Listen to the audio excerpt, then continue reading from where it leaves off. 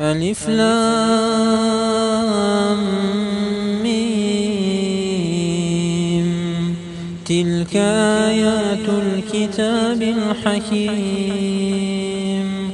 هدى ورحمة للمحسنين. الذين يقيمون الصلاة ويؤتون الزكاة وهم وهم بالآخرة هم يوقنون. أولئك على هدى من ربهم وأولئك هم المفلحون. ومن الناس من يشتري لهو الحديث ليضل عن سبيل الله.